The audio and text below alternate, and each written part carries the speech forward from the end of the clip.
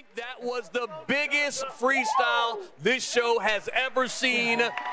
How much fun was it bringing drag to the ballroom? The thing about it is drag belongs everywhere. People who want to live out their lives authentically belong everywhere. And baby, we promised you a show, we gave you a show. Yes, you did. Yes, you did. Now, hello, Natasha. Hello. You look beautiful. Thank you very much. How you feel? I feel amazing. well, actually, I have so much respect for all the drag entertainers out there. You guys ha- going through so much. This whole look's been done in 45 minutes. And uh, Shangela, thank you so much for everything you've done for me.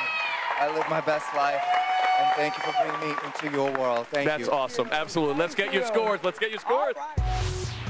Carrie Ann Inaba. Well, it's a 10. Len Goodman, It's a 10. Derek Hough, It's a 10. What's it? Bruno Tonioli, It's a fabulous. A 10. There you go.